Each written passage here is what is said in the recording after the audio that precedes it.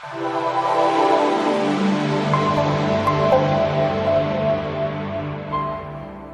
Student मेरा नाम हमाद अली है और हमारा कोर्स जावा फॉर बिगनर्स के आज का टॉपिक है वेरिएबल वेरिएबल हमारे पास एक कंटेनर है जिसमें हम अपना डाटा स्टोर कर सकते वेरिएबल जैसा कि नाम से ज़ाहिर है कि इसकी वैल्यू चेंज होती रहती है तो ये Java variable during the execution of the program throughout the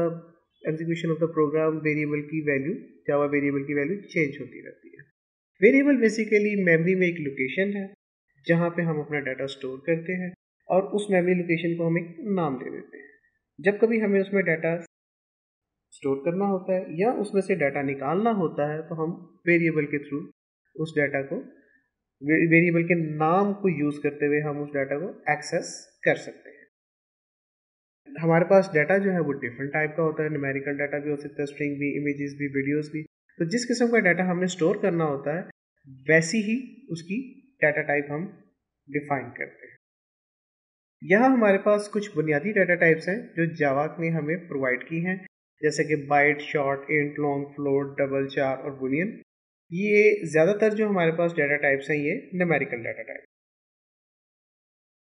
अगर हम यहाँ पे देखें तो बाइट जो है, उसका size in bytes one byte है, यानी कि एट बिट है।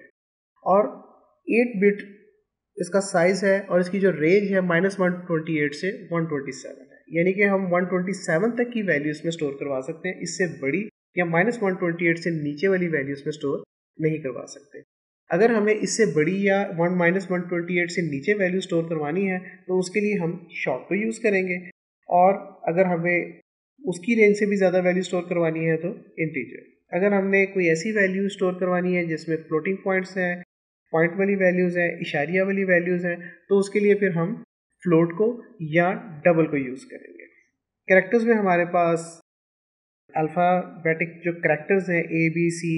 ये हम स्टोर करवा सकते हैं और बुलियन में हमारे पास जो है वैल्यूज़ वो ट्रू या फॉल्स की सूरत में सेव होती हैं. यहाँ पे हमारे पास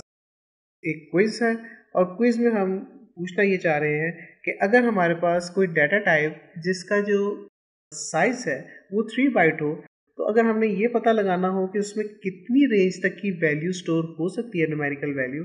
तो हम उसको कैसे कैलकुलेट करेंगे? या हम थ्री बाइट्स के अंदर हम किस रेंज तक की वैल्यू सेव करवा सकते हैं? Thank you